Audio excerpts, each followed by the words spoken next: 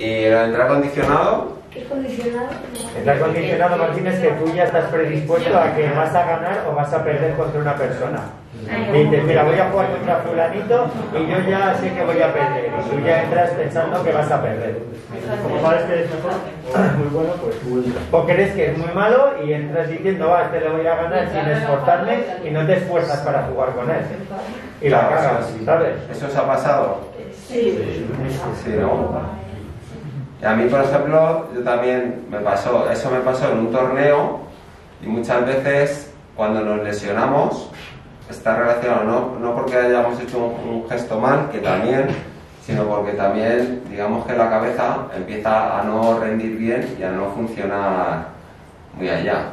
Una anécdota, por llamarlo de alguna manera, eh, me pasó en esta situación que comenta Pablo, que yo entré a jugar contra alguien que no le conocía y yo pensaba que jugaba mejor y era un chico bastante más joven que no jugaba, jugaba como yo, un poquito peor, pero no me iba saliendo el partido, no, no me iban entrando los puntos, al final ya mi cabeza empezó a, a no saber qué hacer y en uno de estos pues hice un giro que vino el volante para un lado y entonces quise, tuve ahí, descontrolé el cuerpo porque mi mente quería hacerlo todo y pues hice un giro mal y me lesioné la rodilla, el ligamento.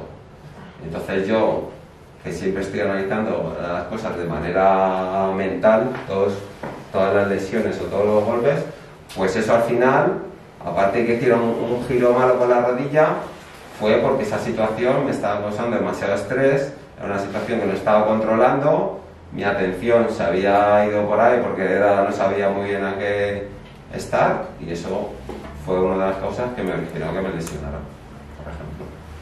Yo, por ejemplo, lo del estar condicionado y parecido a lo que estás diciendo tú, a mí a veces me pasa que estoy jugando contra una persona que digo, bueno, este ya le meto una dejada y no me va a llegar, ¿no? Entonces voy, me- se me va generando como que voy perdiendo la paciencia y entonces eso me va generando más nervios. Entonces a lo mejor pienso que mi nivel de esfuerzo contra esa persona tiene que estar aquí y de repente me está exigiendo más, ¿vale? Entonces eso me genera pues algo parecido yo creo a lo que estás diciendo tú, ¿no? ¿Sabes? O que te lesionas y dices, hostia, o sea que es que la estoy cagando porque creo que le voy a meter el punto a la primera y que no me la va a devolver a la primera porque yo ya creo que hago pitiplón y este es en la merienda, ¿sabes?